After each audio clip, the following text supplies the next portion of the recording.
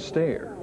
People just uh, are fascinated with them, just like uh, any other kind of creature that can be dangerous to them. they they get a chance to walk up to one, touch one, learn about it, ask questions, anything like that. We try to educate people the best we can on them. This is the 31st Rattlesnake Rodeo. It gets bigger every year, and this year the weather couldn't be better.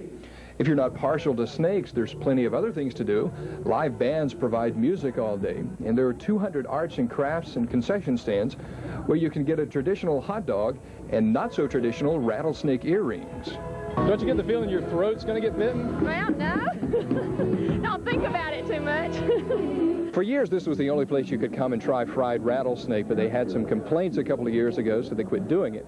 But the president of the Jaycees says they had so many people wanting them to cook it again, they decided to do it this year.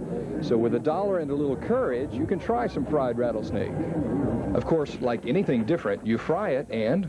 Tastes just like chicken so I'll get some chicken, she says. The day also included snake demonstrations, how to milk one, and how to get bitten by one.